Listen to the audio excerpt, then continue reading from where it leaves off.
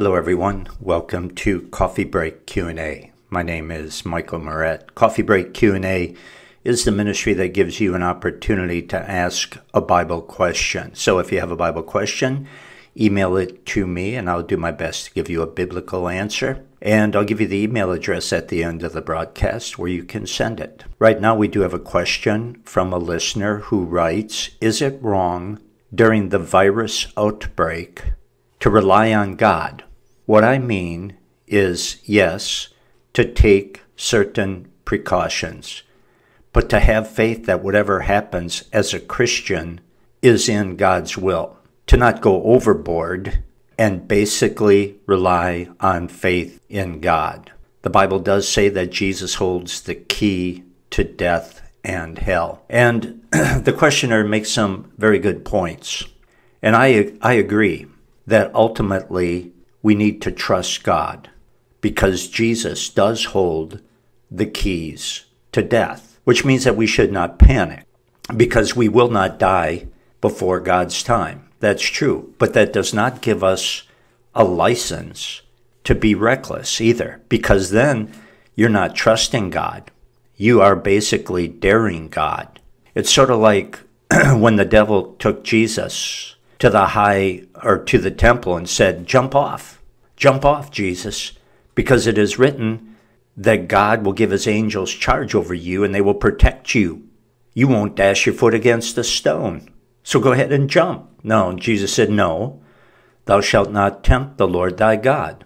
So there's sometimes a very fine line between trusting God and tempting God, putting God to the test. We never want to do that. You don't want to sit out in the middle of the freeway and read a newspaper and say, Well, I'm just trusting God.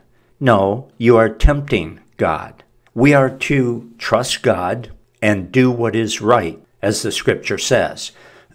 but also, it is biblical to be wise as a serpent. The Bible also says that. I think of the Apostle Paul when the Jews in Jerusalem were trying to kill him. He didn't walk through downtown Jerusalem at noon during daylight and say, you know, I'm trusting God. I know the Jews here are out to kill me and they, they all know who I am, but I'm walking down the streets of downtown Jerusalem and I'm waving at them and I'm saying, I'm trusting God. He didn't do that. Instead, he was let down over the wall in a basket at night and he escaped with his life. And the same thing happened with the spies in Jericho. Remember the two Hebrew spies in Jericho? They did their work, and then, in order to escape the king who was out to kill them and knew that they were somewhere in the city, they escaped over the wall in a basket. I believe it was a basket, but they escaped over the wall at night and they got away. They were not presumptuous. They didn't walk down the streets of Jericho, you know, passing the king and his officials, waving and glibly saying, Hey, I'm trusting God. Here I am. Here we are. The Hebrew, the Hebrew spies that you're looking for. Well, you come and get us. We're trusting God. They didn't do that. That would have been presumption. Now, it is true that God is sovereign and that we will not die till he gives the okay. But that promise somehow works in harmony with us using common sense and good caution. We should never avoid trouble if the only way to do that is to violate God's word. We should never avoid persecution and martyrdom, even if the only way to do that is to avoid or is to violate God's word.